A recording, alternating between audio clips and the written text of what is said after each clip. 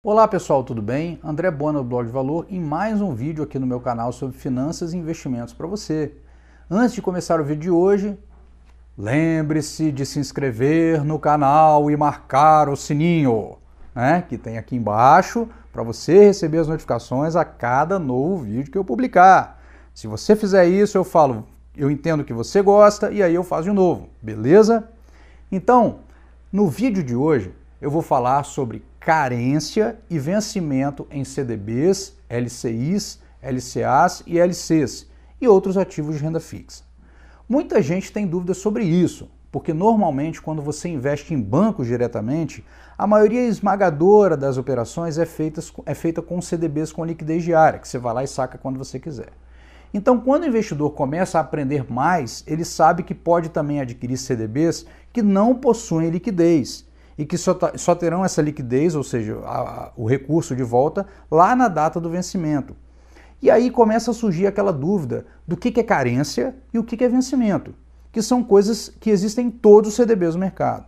Então vou detalhar isso aí, é, vou detalhar o que, que é cada carência e vencimento, que aí você vai entender e vai ficar isso aí, nunca mais você vai precisar se preocupar com isso. Então vamos lá.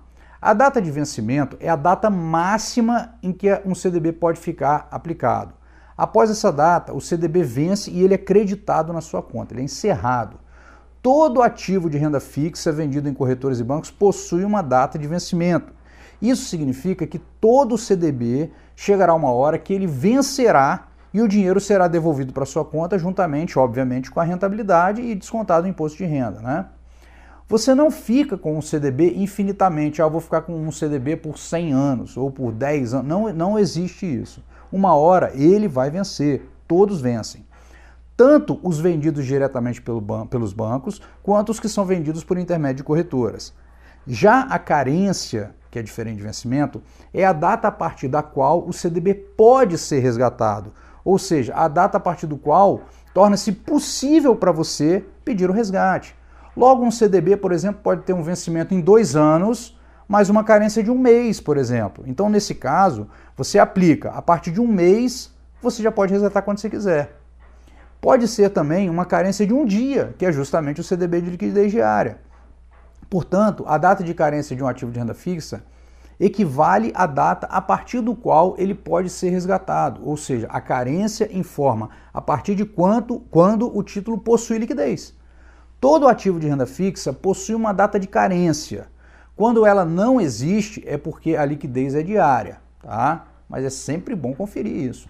Os CDBs com melhores taxas, considerando o mesmo banco emissor e o mesmo nível de risco, né, colocando as condições iguais, tendem a ser aqueles cuja carência e data de vencimento são iguais, que são aqueles que você não pode resgatar.